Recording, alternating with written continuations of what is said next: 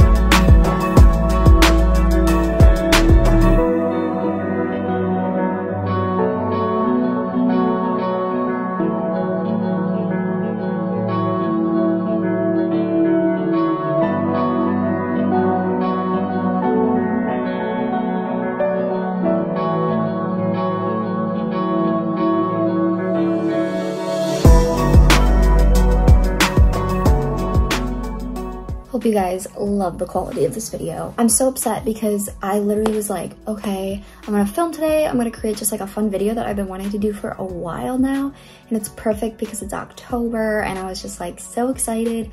And then I went on my camera and like the battery was missing and I was like, what the freak? But then I remembered at my cousin's house when we were filming a video for our youth group that there was a battery, a camera battery on the counter and I was like, that's not mine because I never took my battery out. Like, I don't know why I took it out.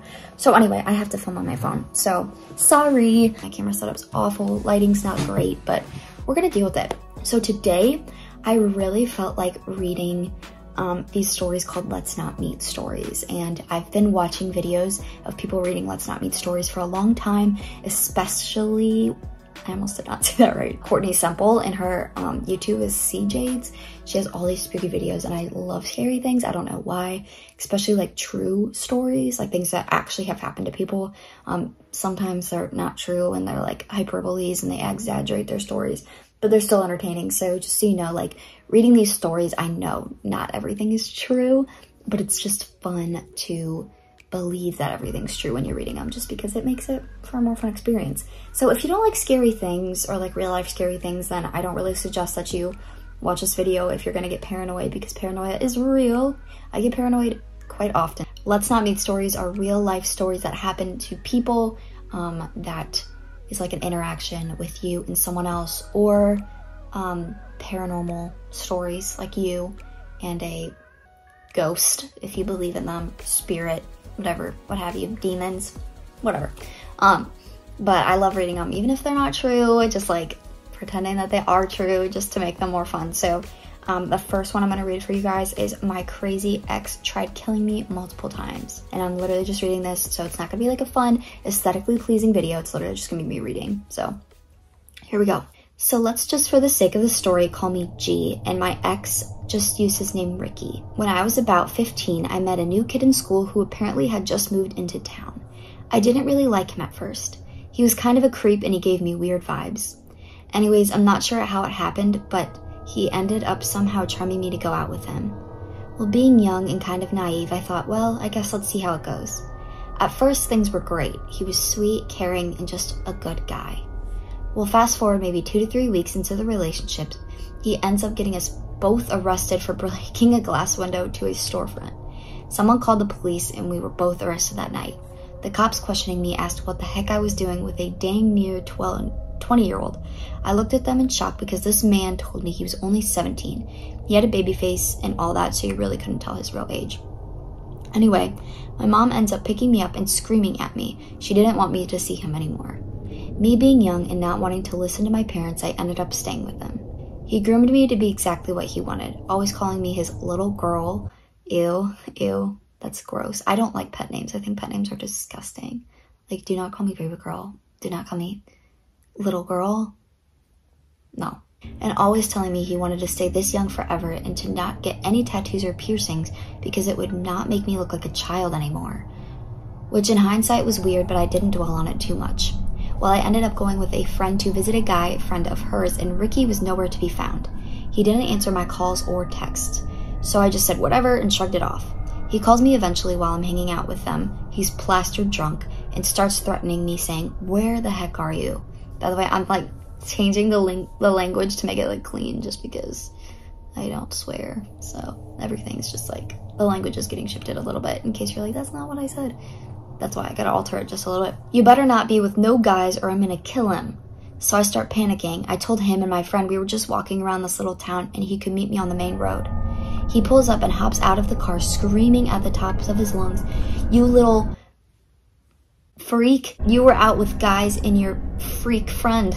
I started crying and telling him, No, no, no, it isn't like that. We were just hanging out, I swear, I told him. He didn't believe me and he ended up hitting me full fist right to the face. I grabbed my face and ended up crying some more. Now at this time, a whole group of neighbors heard him screaming at me and came outside. They told him to get away from me and that he shouldn't be screaming at me, which this makes him even angrier. He starts trying to fight everyone on the block. Eventually, the police came and took him in for the night. I didn't press any charges or anything because I didn't want to get him in trouble. I know I'm stupid for that and I should have left, but he had this hold on me. So he ended up apologizing the next day, saying he was sorry and he would never put his hands on me again. Sadly, I believed him. Fast forward to one night, he calls me frantically telling me to walk to this field by his house and he needs me to bring him a backpack and to meet him ASAP.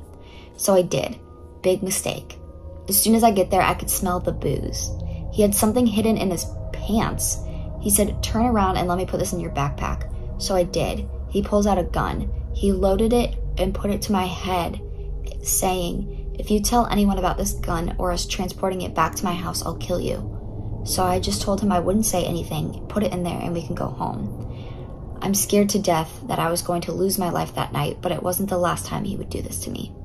Fast forward to a night he took me to his friend's house to stay. He's drinking, and his mom told me to not let him do so. She ends up calling me. Now, as I'm on the phone with him, with her, he loads up a gun again. Oh my gosh, he put it to my head and mouths to me, Don't you dare tell her I've been drinking or I'll kill you right here. So I tell her everything is fine and he's fine and we're having a good time watching movies and hanging out and we will be back in the morning. She hangs up and he finally puts the gun down and says, That, ugh, that's my good little girl. Goodness, it was so scary and creepy. It would get creepier every time he said it. So I played it off as him just being drunk. I'm now about 17. He has since then abused me multiple times, left bruises and gave me a black eye, broke ribs, and so on. One day I tell him I'm done because I caught him cheating on multiple different occasions. He pushed me to the ground and started strangling me, and he said, The only way you're leaving me is in a body bag, and is choking me so hard till I blacked out. As this is going on, I lost consciousness, I think. This is it. I'm dead. He's gonna kill me. I wake up a few hours later to him freaking out, thinking I'm dead. Once I get up, he comes over and hugs me and says, I'm so sorry, baby, I didn't mean it. At this point, I'm scared to death. I play it off and forgive him. Once I turned 18, I left him for good. After we broke up, though, he sent me from an anonymous number him with a pill bottle full of my teeth I had removed from my mouth that I knew I threw out long ago after having them removed from my braces to make my teeth fit, and a bag of my dirty underwear he was stealing from the wash our whole relationship. Ew, bro. Like, I didn't move away and change my number so he couldn't contact me. I'm 23 now and have a great boyfriend who treats me right and we have a place together. But about a year ago, he found out where I lived and tried to kidnap me. My boyfriend went to get a gun to protect me and he ended up throwing a brick at my house and ended up speeding off. He since forgot where I live and is in jail for strangling another girl. Sorry this is so long, but there's a lot more and it's already really long. I don't want to make this any longer for your sake. But to my psycho ex Ricky, let's never meet again.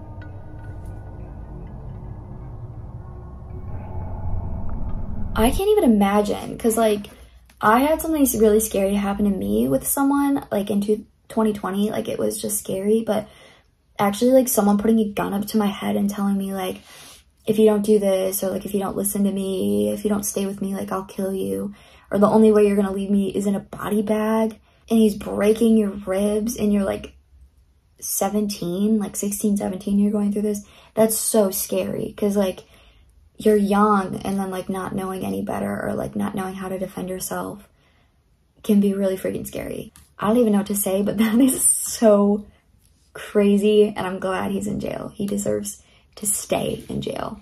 Okay, So I just started editing my video and I was like, dude, why did I only do one story? And I don't remember why I only did one. So I'm gonna do one more Let's Not Meet story and then add it to that. So hopefully like you guys will have like two Let's Not Meet stories to listen to. Again, still filming on my phone. I won't get my camera battery back until tomorrow. So sorry, you're just gonna have to bear with it. Also, please don't mind this ugly thing on my face. I am trying to cover it with my hair. I'm so annoying. And when like, I literally see like the smallest little pimple forming, I just like pop it and it was like premature. So now it's like, it's like irritated that I tried to pop it before it was ready. And now it looks like that. So sorry. I literally like have not gotten ready for the day or anything. Like I've been doing homework and I was like, oh my gosh, like I was editing and I was like, I have, what, why am I like being so annoying? like talking so weird. But I was like, we need one more. Let's not meet story so i found one. I didn't read it yet. I don't read these like beforehand. I just see like the titles and i'm like oh that sounds good. I also want to read no sleep stories too. Maybe we'll do that in the, like, the next one because those are like really like creepy to read. These are more just like absurd. But um this one's called creepy guy taking photos of me in walmart creepy, guys. I don't know about you, but literally Walmart scares the crap out of me. I just don't like it. And if I don't have to go inside of Walmart, I won't go in Walmart. Um, but if I'm with other people, it's really not too bad.